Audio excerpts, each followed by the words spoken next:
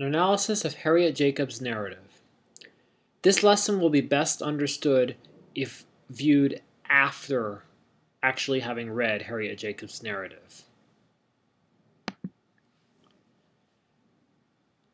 Harriet Jacobs originally published the story using the pseudonym Linda Brent.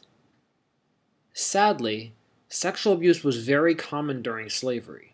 It was considered something of an open secret something that was not spoken of publicly but was generally understood to be occurring. Many of the victims of sexual abuse felt a sense of shame after being forced into these relationships which violated their own sense of propriety in terms of sex.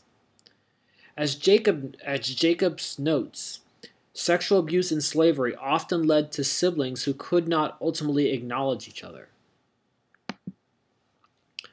Note that Jacobs makes multiple calls for Northerners of good conscience to do something.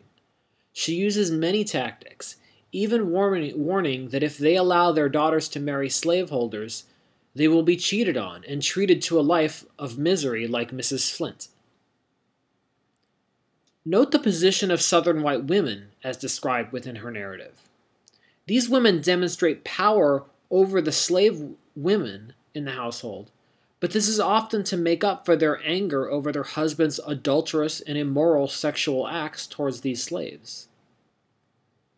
Finally, notice Dr. Flint's use of psychological games. He often acts as if he's acting as her protector, not her abuser. There have been some questions of authenticity with this narrative. There was some suspicion at the time that this narrative was written by a white Northern abolitionist. This is partly due to the writing style, but also the descriptions of her avoiding sexual abuse.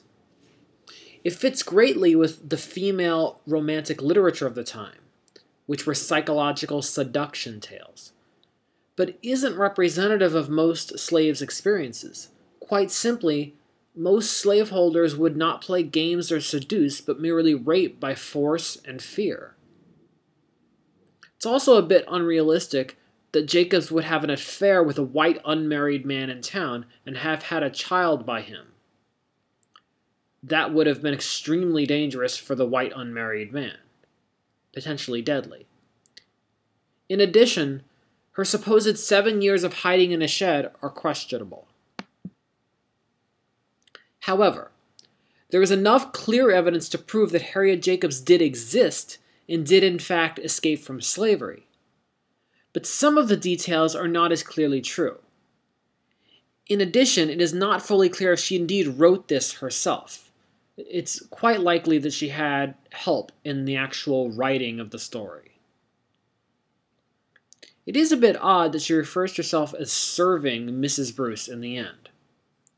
Regardless of the authenticity of detail in this narrative, it was one of the many in its time that had a powerful effect in building the abolitionist movement.